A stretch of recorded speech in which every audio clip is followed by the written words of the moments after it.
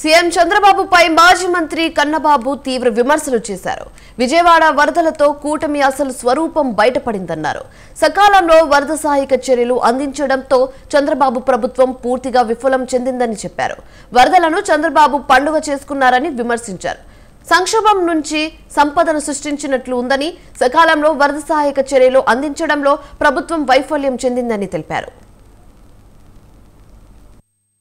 మీ ప్రభుత్వం అసలు స్వరూపం బయటపడింది.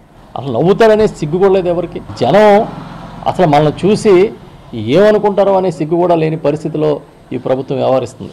అసలు చంద్రబాబు నాయుడు హయాంలో అవినీతి వరదలో బురద కలిసినట్టు కలిసిపోద్ది. ఆయన నేను చెప్పాను కదా సంక్షోభం నుంచి సంపదను సృష్టిస్తానంటాడు. ఆ విధంగా ఏదన్నా వస్తే చాలు చందాలు వసూలు చేయడం. ఏదో వినాయక చవితి చందాలు వసూలు చేసినట్టు దసరా చందాలు వసూలు చేసినట్టుగా వరద వచ్చిన వెంటనే కార్పొరేట్ల దగ్గర నుంచి కిడ్నీ బ్యాంకుల దాకా ఎవరిని వదిలిపెట్టకుండా బోల్డెన్ డబ్బులు వసూలు చేశాడు. సుమారు నాలుగైదు వందల కోట్ల రూపాయలు వరద సహాయం కోసం సీఎం రిలీఫ్ ఫండ్కి నిధులు వచ్చినట్టుగా చూస్తా ఉన్నాం. సినిమా యాక్టర్లు కార్పొరేట్ కంపెనీలు దాతలు చివరికి చిన్న చిన్న పిల్లలు దాచుకున్న కిడ్నీ బ్యాంకులో డబ్బులు కూడా తీసుకొచ్చి అయ్యో మా రాష్ట్రంలో ఇంత పెద్ద విపత్తు వచ్చింది మనం మానవతా దృష్టితో ఆదుకోవాలని డబ్బులు ఇచ్చారు. కానీ తీరా ఖర్చులు చూస్తే కళ్ళు తిరిగినంత పరిస్థితి. అసలు నేను ముందే చెప్పినట్టు సిగ్గే లేదు. జనం ఏమనుకుంటారని ఆలోచన లేదు. ఈ కూటమి ప్రభుత్వం అసలు స్వరూపం బయటపడింది. అసలు నవ్వుతారనే సిగ్గు కూడా లేదు ఎవరికి. జనం అసలు మనల్ని చూసి ఏమనుకుంటారో అనే సిగ్గు కూడా లేని పరిస్థితిలో ఈ ప్రభుత్వం వ్యవహరిస్తుంది.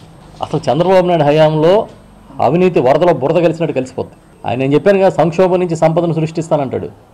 ఆ విధంగా